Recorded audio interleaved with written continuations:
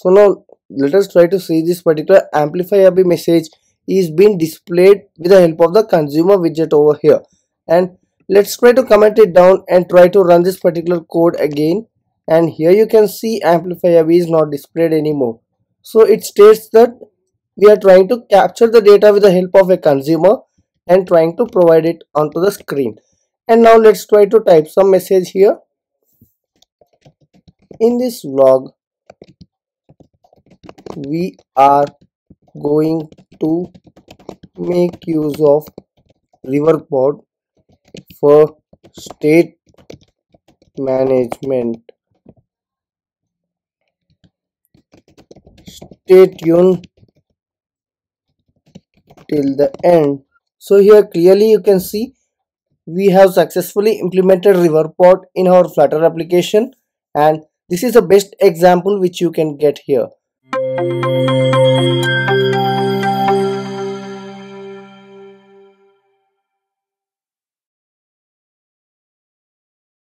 In this vlog, we are going to deal with the implementation of Riverpod in your Flutter application. So what is the Riverpod and why do we use it? So Riverpod is a state management library and in our previous tutorials as well we have seen many state management libraries and we have also considered provider, GetX and different other libraries for managing state in our Flutter applications. So in this part of the tutorial, let's get started with the Riverpod implementation in our Flutter application. So what is the Riverpod and what does it mainly focus on? So Riverpod is mainly focused on provider and dependency injection. So these are the two primary aspects when you are making use of a Riverpod in your Flutter application. So already we have done a detailed tutorials on provider and dependency injection and these are the links to those tutorials I am providing in the description section below. So I suggest you to go through these particular tutorials before getting started with this particular tutorial so that you will be getting a good knowledge on provider and dependency injection and you will be easily understanding the concept. So if you are familiar with this particular concepts, let's get started with this particular tutorial now. So what are the types of implementation we can see in Riverpod?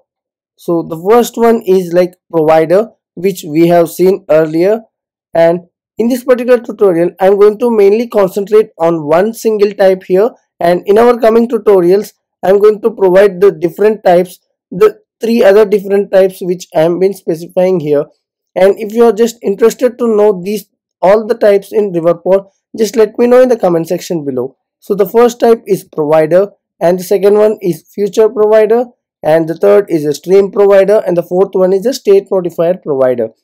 So in this part of the tutorial we are going to mainly concentrate on state notifier provider and how do we implement them in our Flutter application. So what is a state notifier provider and what does it do? So state notifier provider will try to update the state whenever there is any change in the data. So here in this part of the tutorial we are going to consider a string example here and we are going to update a string in a text field. And how we will do this particular implementation in flutter? Just try to see till the end of this particular tutorial and don't skip any part of the tutorial because every aspect is important. And if you miss any part of the tutorial then it will be a quite confusion for you to understand the topic again. So the state notifier provider will have a provider and consumer so here you can see we'll be having a provider which provides the data and the consumer which tries to consume the data which is being provided by the provider here.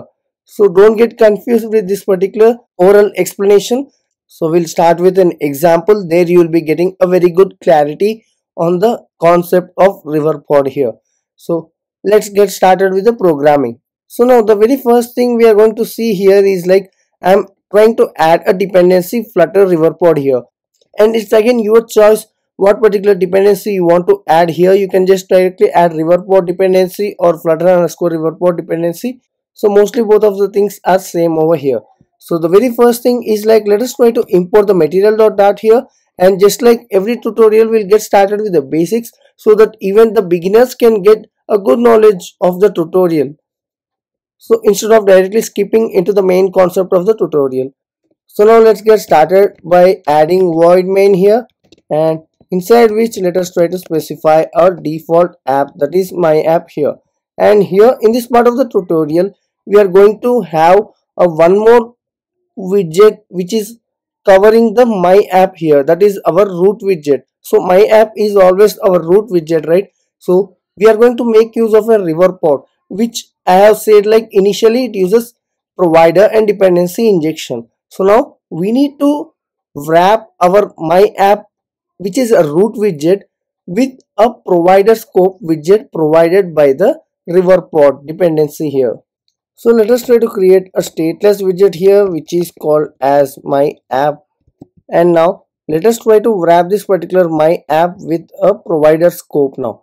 So simply you can just wrap with a widget here and try to specify provider scope here. So here you can see we are getting a dependency. We are getting a suggestion here like provider scope. So just tap on this particular provider scope and for the child we are going to assign our my app class over here.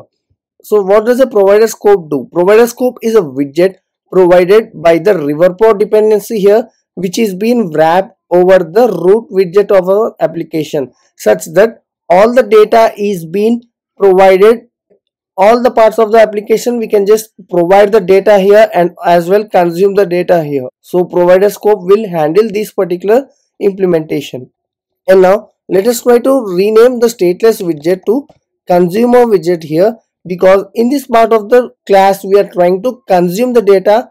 So we are mostly concentrating on consuming the data which is being provided by the provider here. And now we are going to have an additional parameter here and that is widget reference so that we can easily make use of it. And before getting started with the consumer widget let's start creating the provider widget first. So let us try to specify a data provider here. So i'm just simply naming it like a data provider and you can just add your own name over here and which is a state notifier state notifier provider here. So as i have said earlier in this part of the tutorial we are mainly going to concentrate on state notifier provider here. And now let us try to specify a class like data state notifier which we are going to create now. Notifier.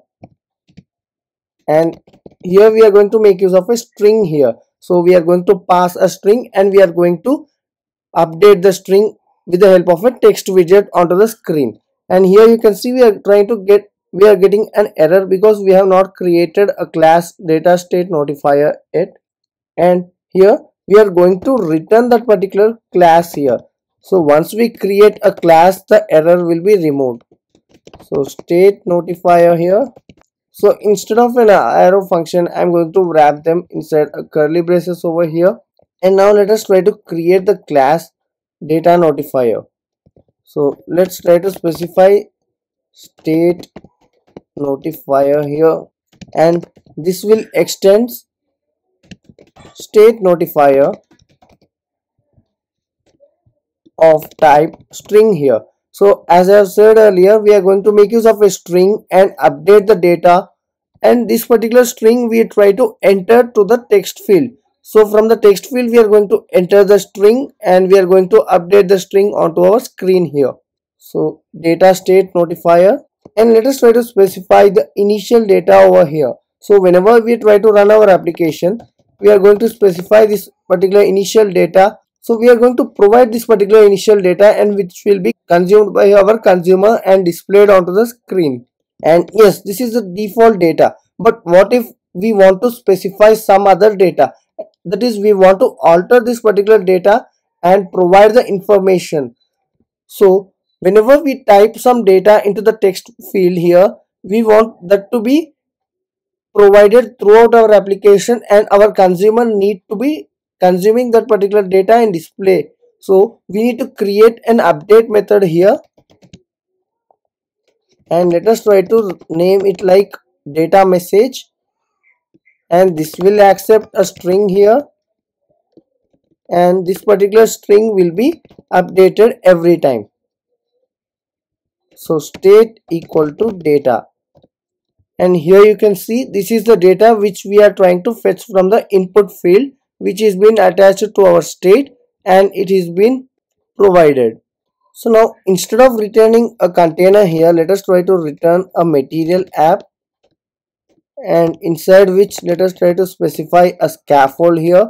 And inside which let us try to specify an app bar. With the help of a text field we are going to specify a title over here. And we are going to specify like riverpod here.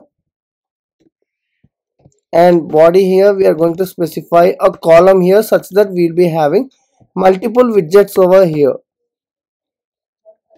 so let us try to specify a size box. And here we are going to specify a height of 100 here. This is completely optional here. You may specify it or not. Just for the design purpose i'm going to specify size box over here. And now let us add the consumer over here. So this is a consumer widget by making use of which we will try to fetch the data from our provider so in the builder let us try to specify the context here and also watch here. So here we are getting an error because we have not added a comma after our first widget that is size box. And now inside the consumer let us try to specify a variable like final data equal to and here we are trying to fetch the data and trying to store in this particular data variable now ref dot. So what is this ref here we have specified widget reference right? So i'm just going to make use of it. And let us try to add watch here. And here you can see it is asking us to specify the provider. And what is our provider name here? It's like data provider. So this is the name of the provider. Just copy it and paste it over here. And now we will be continuously watching this particular data provider and once the user enters any data here that will be stored into our state and will be exposed over here such that we can consume the data here in the consumer field. And not only consuming it let us try to return it with the help of a text widget and display it onto our screen here. And again i'm just going to add some styling here which is again an optional. Let's make use of theme of and i'm going to specify some basic styling text theme dot headline large. So yeah that's it uh, for the text widget styling here.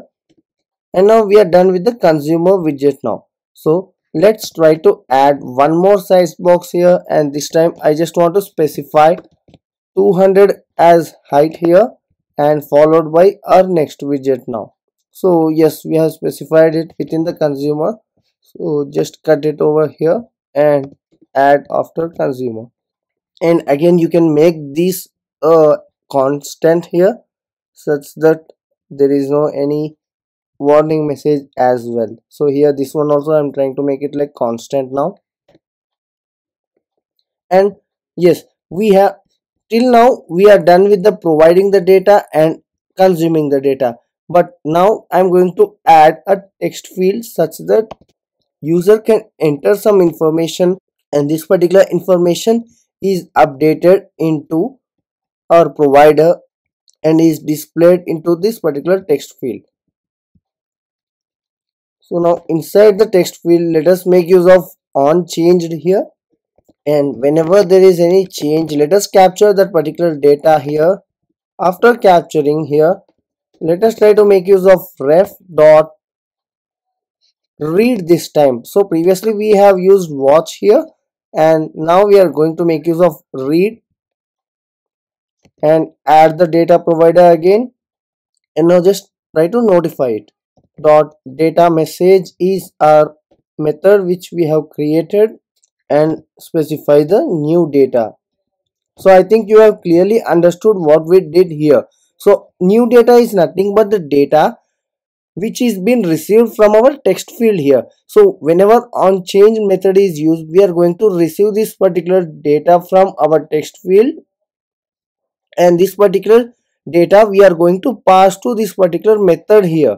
So void data message and from there we are updating our provider and trying to consume it from our consumer here and which will in return display it with the help of a text widget. So it's very simple. If you try to concentrate on this tutorial till the end it's a very simple topic but it will get complicated if you don't understand the basic. And again this is an optional part. I'm just going to add some decoration here from our input decoration. Let us try to specify some border here so outline border i'm going to specify and label text. Enter a message. So yes that's it from the coding point of view and let's try to make it constant as well. And now i'm going to just run this particular code in an ios simulator here and let's try to see the output once. And here you can see we have got the output now and we have specified riverpod here as our app bar. And also we have specified amplify abhi as our default data which is being notified by our provider is being consumed by our consumer and displayed onto the screen. And also let us try to add some padding here which makes it much better. Instead of 8 i'm going to make it 24 and now here you can see it looks much better. So now let us try to see this particular amplify message is being displayed with the help of the consumer widget over here. And let's try to comment it down and try to run this particular code again. And here you can see amplifier abhi is not displayed anymore. So it states that we are trying to capture the data with the help of a consumer and trying to provide it onto the screen. And now let's try to type some message here. In this vlog we are going to make use of riverpod for state management. Stay tuned till the end.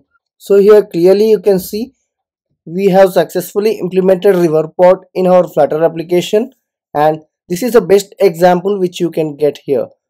So that's it for this particular tutorial and also all the related tutorials regarding provider and dependency injection I am providing in the description section below.